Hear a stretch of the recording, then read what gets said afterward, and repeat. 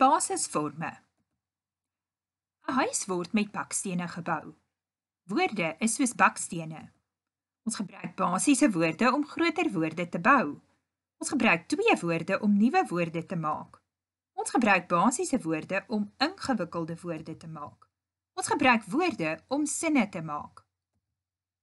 Die basis van 'n woord is die kleinste deeltjie van 'n woord wat alleen kan staan, maar ook tog nog betekenis het. Vriend, darm, hand, vis, arm, wond. Voorvoegsels en agtervoegsels. On is 'n voorvoegsel, lik is 'n agtervoegsel in hierdie woord. sien julle dat daar 'n prentjie van 'n olifant in die agtergrond is? Dis omdat ons basisvorme, voorvoegsels en agtervoegsels altyd met 'n olifant vergelyk. Die basis van die woord is die lyf. Dit wat ek vooraan voeg is die slurp en dit wat ek agter die woord aansluit of aanlas is die agtervoegsel. Voorvoegsel plus 'n basis of 'n stam.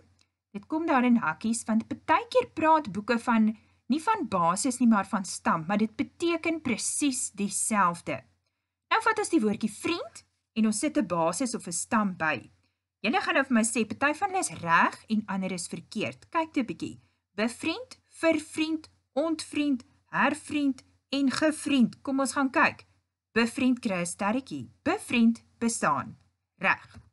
Vervriend, ja, dis verkeerd. Ons kry nie so 'n woord nie. Gevriend, verkeerd. En hervriend is ook verkeerd. Die woord ontvriend is 'n nuwe woord wat ontstaan het as gevolg van sosiale media. So dit is hoekom hy reg is. Die basis of 'n stam plus 'n agtervoegsel. Nou vat ons weer vir vriend en nou ons gaan vriend as basis vat en dan sit ons 'n agtervoegsel by. Die eerste een wat ons hier sien is vriendelik, vriendskap, vriends, vriendjie en vriend daar. Party van hulle klink vreemd, want party is verkeerd. Kom ons gaan kyk watter is reg en watter is verkeerd. Hierdie oefening word gedoen sodat jy kan sien dat jy nie enige agtervoegsel by enige woord kan voeg nie. Vriendelik is reg. Vriendskap is reg. Vriend daar is verkeerd. Vriendjie is reg. Vriends is verkeerd. Voeg voor of agtervoegsels by. Hier is die woorde aan die linkerkant: vriend, skerm, handel, vis, arm en wonder. Kyk hoeveel woorde jy met vriend kan maak deur slegs voor of agtervoegsels by te voeg. Onthou, jy mag nie nog 'n woord gaan byvoeg nie. Ons soek net 'n voor of 'n agtervoegsel. Vriend sal kan ons byvoorbeeld maak vriendelik. Skerm, beskerm. Handel, handelaar. Vis, visse, visie arm, armpie, arms. Wonder, wonderlik. Jy kan so 'n rukkie stop en na die skerm kyk en 'n paar van jou eie probeer maak. Kyk of jy meer as 10 by elkeen kan kry. Baie geluk. Jy het sopas 'n afleiding gemaak. 'n Basis met 'n voor- of agtervoegsel word 'n afleiding genoem. Maak afleidings van hierdie woorde. Neem. Beker. Wen, blok en sing. Onthou, wat is 'n afleiding? Dit is 'n basis met 'n voor of 'n agtervoegsel.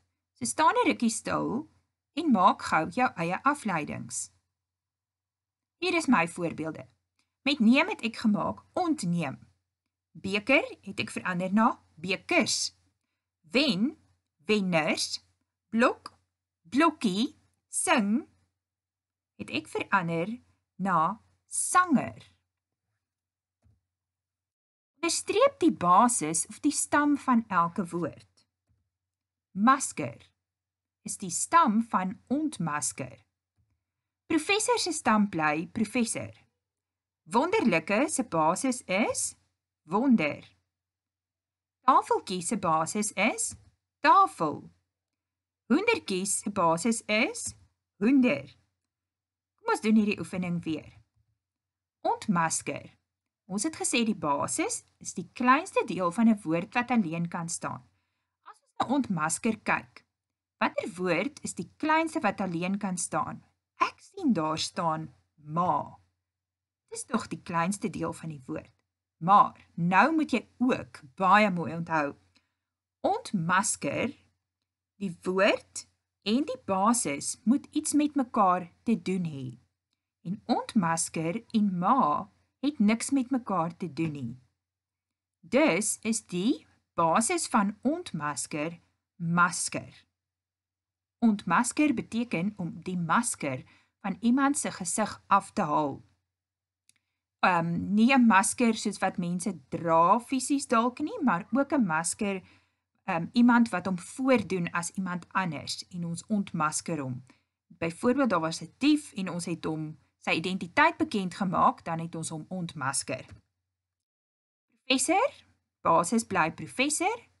Wonderlik, wonderlik het ook 'n korter woordjie soos wond. Maar wat het wond met wonderlike te doen? Net mooi niks nie. So die woord is wonder is die basis van wonderlike. Tafeltjie se basis is tafel. Hoendertjie se basis is hoender. Hoor julle, hoender het definitief iets te doen met hoendertjies.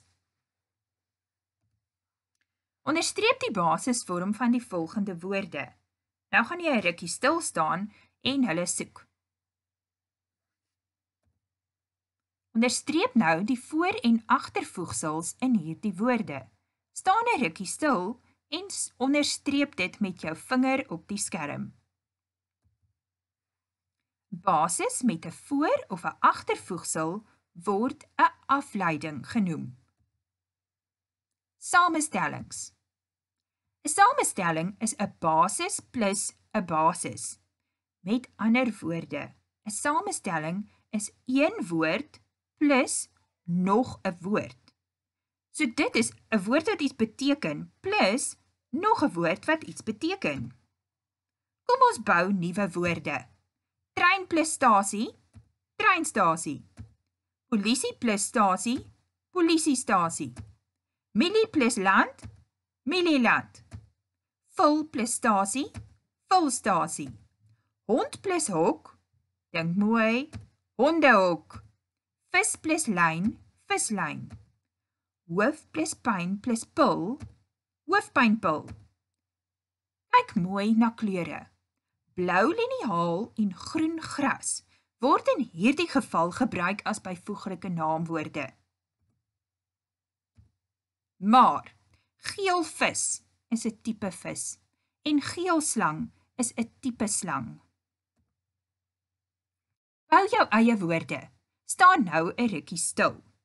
Skryf soveel as moontlik woorde wat jy kan bou deur die volgende woorde te kombineer. Jy behoort min of meer 15 woorde te kry. Verbindingsklank. Veiligheid plus gordel is veiligheidsgordel. Soms moet ons 'n s of 'n e byvoeg sodat die woord korrek uitgespreek word. Onderstreep die basis of stam van elke woord. Staan 'n rukkie stil en onderstreep dit met jou vinger. Samestellings. Nou is dit tyd vir 'n speletjie. Kyk na die twee prente en probeer om jou eie woord te vorm. Hierdie een gaan ek julle 'n bietjie mee help. Aan die linkerkant is 'n jas en aan die regterkant het ek 'n kamer. Nou as ek sê die woord jas en kamer bymekaar sit, kry ek kamerjas. Volgende een. Ek het 'n doek en 'n sak. Dit maak sakdoek. Dit kan ook doeksak wees. Nou het ek 'n gat in die grond en dan het ek 'n voorwerp wat soos 'n knoop lyk. Wat dink jy gaan hierdie woord wees? Knoopsgat. Ek het wortels en ek het 'n pen. Penwortels. Ek het olie en ek het 'n man met 'n baard en 'n sonbril. Hierdie woord sal wees baardolie. Kyk mooi dat baardolie met 'n koppelteken gespel word sodat jy dit korrek uitspreek. Hier het ek 'n klaskamer of 'n skool aan my linkerkant en ek het 'n mannetjie wat siek is. Kom ons kyk wat se woord maak dit. Skoolsiek. Skool plus siek is skoolsiek. Ek het gom aan die linkerkant en ek het 'n boom aan die regterkant. Die woord is boomgom. Samestelling. Hier's 'n boks en dan 'n klomp hout en ek het 4. Dit is drie basisse wat saamgevoeg word om 'n woord te vorm. Kan jy raai wat is die woord? Vierhoutjie doos. Het 'n baadjie en dan het ek 'n leer. Leerbaadjie. Nou is hier 'n sakkie aan die linkerkant en ek het 'n hondjie aan die regterkant. Dink 'n bietjie verder. Wat kan dit wees? Hierdie woord is woefkardoes. Wat op aarde is 'n woefkardoes? 'n Woefkardoes is niks anders as 'n doggy bag nie. 'n Doggy bag kry jy by 'n restaurant. As jy klaar geëet het, die kos wat jy nie kan opeet nie, word in jou woefkardoes gesit en jy kan dit huis toe neem om die volgende dag te eet. Man met 'n boggel op sy rug en 'n walvis. Boggelrug walvis.